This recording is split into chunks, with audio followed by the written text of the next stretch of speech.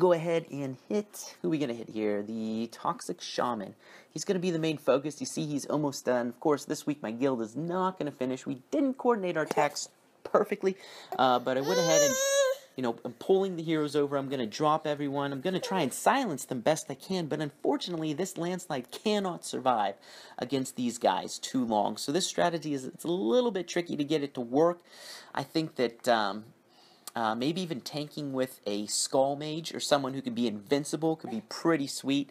We're going to go ahead and try to do the double divine here. Uh, let's see if I can revive that pirate. Oh, oh, rats! I missed out on a lot of points there because I wasn't able to revive the Pyro Pete. Instead, I revived the uh, the Great Sage. Um, but anyways, they'll just kill off my mercenaries.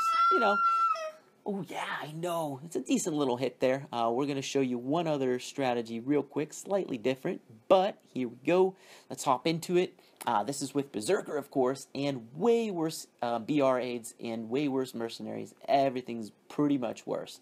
Um, but the landslide can tank a bit better, and you got Berserker. So let's go ahead and compare the two and see how I will perform.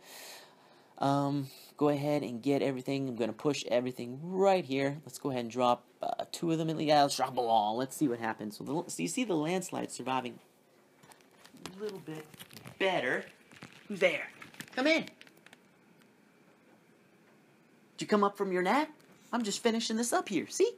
So let's see. Come on, get that, get that off, get that off. Oh, good, good, good. All right, so that's decent. Um, you know, actually a little bit better, which is surprising.